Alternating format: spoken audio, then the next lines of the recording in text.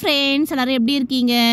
நம்ம இன்னைக்கு eggless brownie பண்ண போகிறோம் ரொம்ப ரொம்ப டேஸ்ட்டாக இருக்கும். நீங்களும் ட்ரை பண்ணி பாருங்கள் ஃபோர் ஹண்ட்ரட் கிராம் பட்டரும் டார்க் சாக்லேட்டும் எடுத்துருக்கேன் நான்.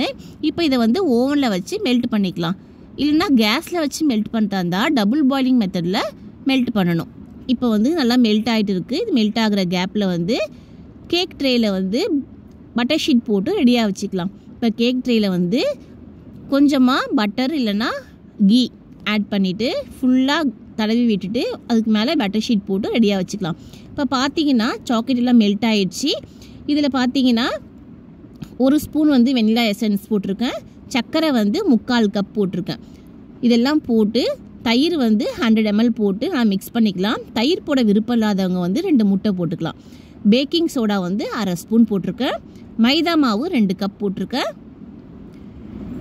எல்லாத்தையும் போட்டு சலிச்சு போட்டுக்கலாம். இது கூடவே பேக்கிங் சோடா வந்து நம்ம ஹாஃப் டீஸ்பூன் போட்டிருக்கோம்.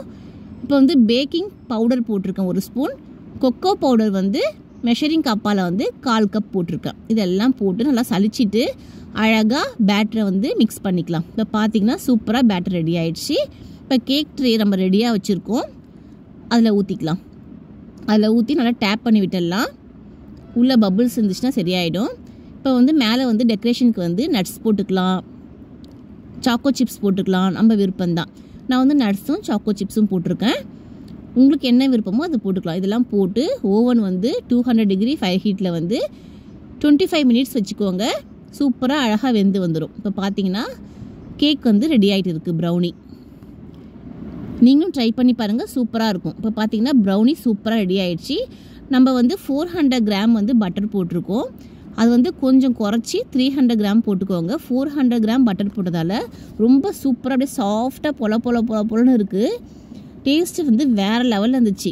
நீங்களும் ட்ரை பண்ணி பாருங்கள் சூப்பராக இருந்துச்சு. அப்படியே செமையாக இருந்துச்சு பாருங்கள் எப்படி இருக்குது பாருங்கள் இந்த சாக்கோ சிப்ஸை மெல்ட் ஆகி சூப்பராக இருக்குது ட்ரை பண்ணி பாருங்கள் தேங்க்யூ